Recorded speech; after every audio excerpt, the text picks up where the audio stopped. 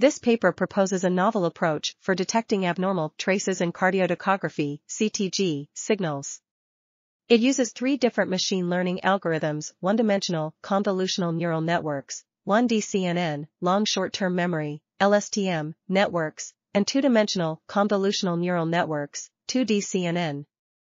The 1D CNN and LSTM networks were trained on data from 51,449 births at term, while the 2D CNN was trained on data from 20 minutes of FHR recordings.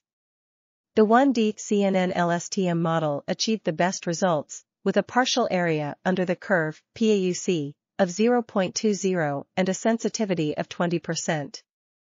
Future work will involve expanding the dataset, analyzing longer FHR traces, and incorporating clinical risk factors.